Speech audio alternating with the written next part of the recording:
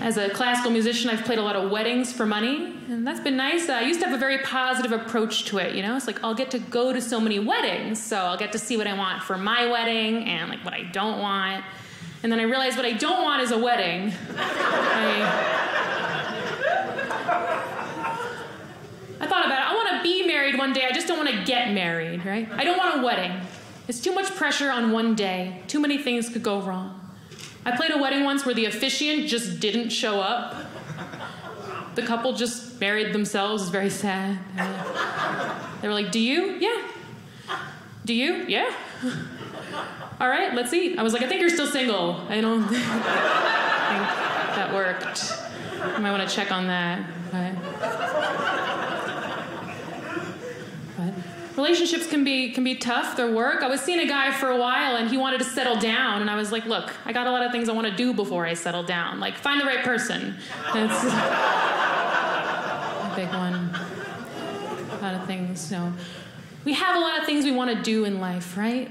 My friend she just quit her high paying day job to follow her dreams. Uh, she says she doesn't want to have regrets on her deathbed.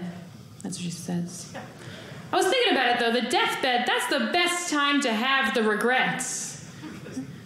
You don't have to live with them for very long. Who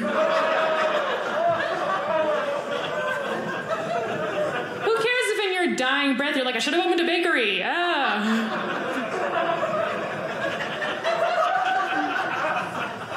No time to cry about it. I cry a lot, I do. Uh, I cry a lot. I look really good when I cry, so it's bittersweet. I catch myself in the mirror, I'm like, oh.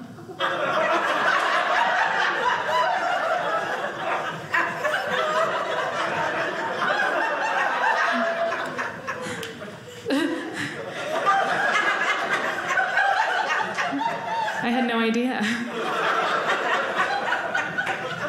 Seriously, I got my heart broken. Best I ever looked. I have had my heart broken and taught me a lot about love. Here's what I learned about love, all right? Love is the only thing that when you lose it, you doubt it ever existed in the first place.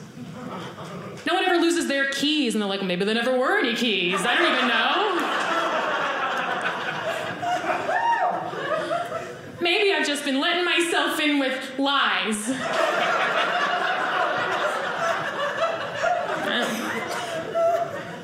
I'm in a relationship now. It's going very well. I love him very much. Uh, he took me camping recently, though, and uh, camping is stupid.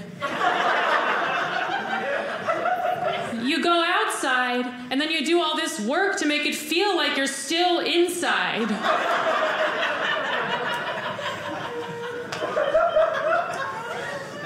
We brought a stove the woods, and we have a better one at home.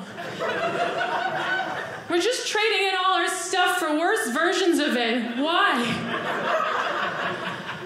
It's like we're just doing some cheap demonstration for nature on how we live.